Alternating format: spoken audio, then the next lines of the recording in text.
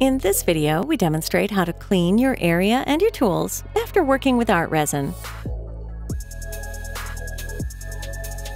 To clean and reuse your mixing tools, wipe them down with a paper towel promptly after use. Spritz with rubbing or denatured alcohol, and wipe down again for a final clean. If necessary, wash skin promptly with soap and water if you've taped off the underside of your piece, remove tape carefully no later than 24 hours post pour. And voila! Behold your wonderful creation!